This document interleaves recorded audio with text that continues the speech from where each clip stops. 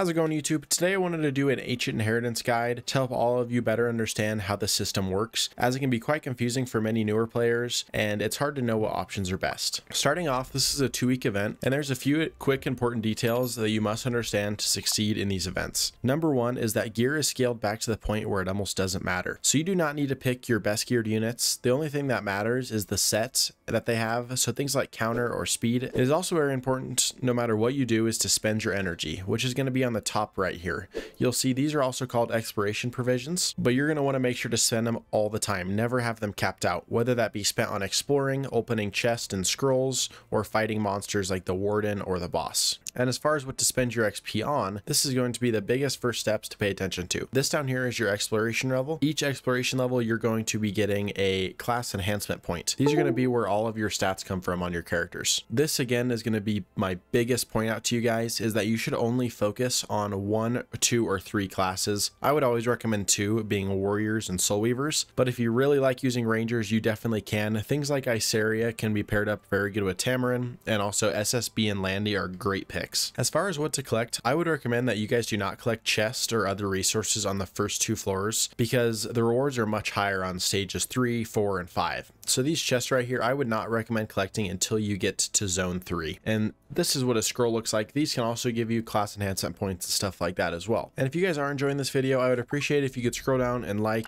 And if you would like to see more videos just like this one, make sure to subscribe while you're down there. Now back to the video. I wouldn't ever recommend killing random mobs as, as it is quite a big waste of expiration points. Your energy is better spent exploring in scrolls and opening chests and fighting the wardens on early stages. And as far as what units to use, there's going to be a few good options and this is where it can get fun. Going back to the class enhancements, you're going to want to plan ahead so know where to begin. If you're going to only want to use, like I said, warriors and soul weavers, which is what I would recommend, then go ahead and make sure to pick the correct ones. People such as Conquer Lilias and Cermia are great warrior picks just because of the flat out damage they can do, and Conquer Lilias, truthfully, is a, I would recommend always picking if you do have her. A big thing to note is the dual attack synergy from Soul Weavers like Singelica and Cerise and Conquer Lilias. Even though she's not a Soul Weaver, she does offer dual attack, which is a huge thing. Kitty Clarissa is also another good pick, as one of the artifacts she can use enhances her dual attack percentage. But many strong warrior picks such as Luna, Holiday Yufine, and Sigret are super good for melting those bosses. Overall, Ancient Inheritance is a great place to get rewards and use units that you don't have built because of the automatic 6 star and max awaken and max maximal enhance. So when you do go to Endless, make sure that you get things that synergize. You also do get super good pieces of gear during the whole event, so make sure you're helping your guild out as much as possible. And I hope you guys enjoyed this video. If you did, make sure to check out my other Epic 7 guides on my channel, and make sure to subscribe and turn on the bell so you don't miss out on more videos just like this. Peace.